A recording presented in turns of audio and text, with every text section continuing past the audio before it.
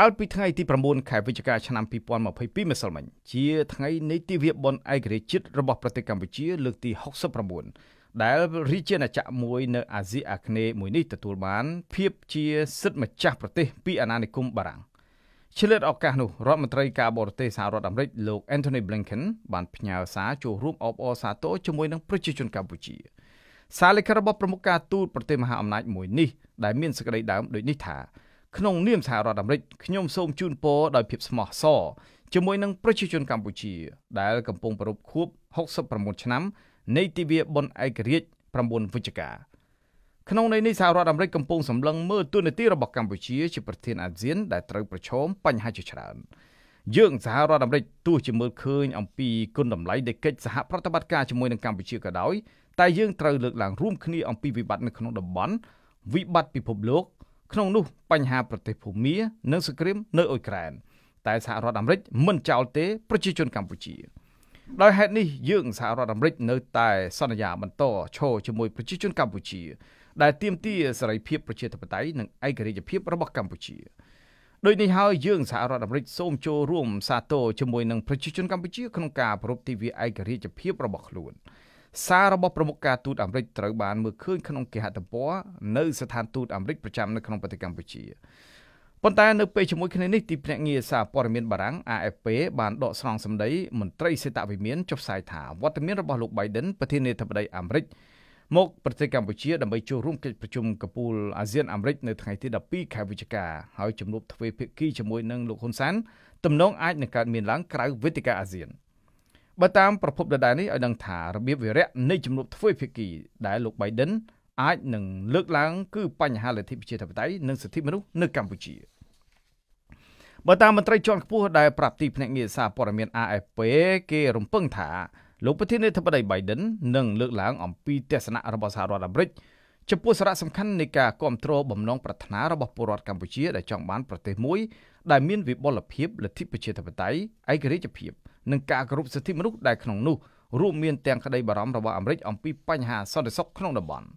យ៉ាងណាក៏ដោយករណីដែលសង្ស័យថាកម្ពុជាអាចក្លាយជាមូលដ្ឋានទ័ពជើងទឹកចិននៅមូលដ្ឋានទ័ពជើងទឹករៀមកម្ពុជាក៏អាចជាចំណុចនៃការពិភាក្សាផងដែររបស់លោកโจ Biden ចាប់តាំងពីការបោះឆ្នោតសភាឆ្នាំ2018មកដែលគណៈបករបស់លោកហ៊ុនសែនបានឈ្នះអាសនៈទាំងអស់នៅក្នុងរដ្ឋសភាមកអាញាធរលោកហ៊ុនសែនបានបង្កើនការចាប់ខ្លួនក្រុមប្រឆាំង ដាក់ពន្ធនាគាររាប់រយនាក់ដែលក្នុងនោះលោកកឹមសុខាប្រធានបកប្រឆាំងដ៏ធំជាងគេក៏ត្រូវបានចាប់ខ្លួនហើយផ្ដាច់សិទ្ធិធ្វើនយោបាយ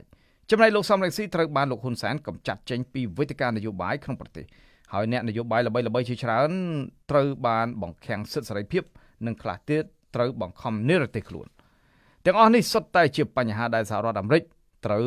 ជួយប្រជាជនកម្ពុជាឲ្យរួចផុតពីគំនាបនៃរនាំងវណ្ណៈសង្គម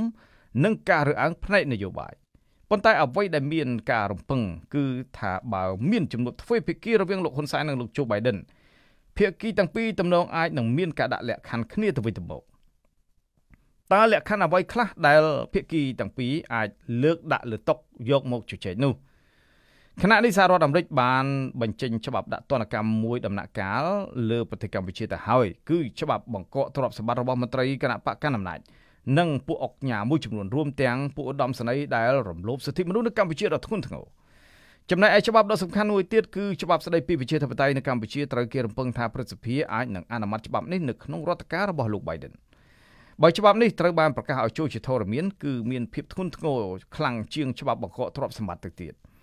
ហើយបើច្បាប់នេះត្រូវបានអនុម័តចេញជារូបរាងមែនមានន័យថាតំណែងតំណងអាមេរិកនិងកម្ពុជាដើរដល់ផ្លូវបំបែកហើយ។ ដោយសារតែកម្ពុជាគឺជារបបដឹកនាំបច្ចុប្បន្នរំលោភសិទ្ធិមនុស្សធ្ងន់ធ្ងរក្នុងការបំបត្តិសម្លេងក្រមប្រឆាំងជាមួយនឹងការចាប់ក្រមប្រឆាំងរាប់រយអ្នកដាក់គុកបាននាំឲ្យរដ្ឋការរបស់លោក Biden ជួបប្រព័ន្ធអនុគ្រោះពន្ធពាណិជ្ជកម្មលើវិស័យកាត់ដេររបស់កម្ពុជាហើយធ្វើឲ្យកម្ពុជាខាត់បង់ប្រាក់ចំណូលជាតិមួយឆ្នាំមួយឆ្នាំរាប់រយលានដុល្លារ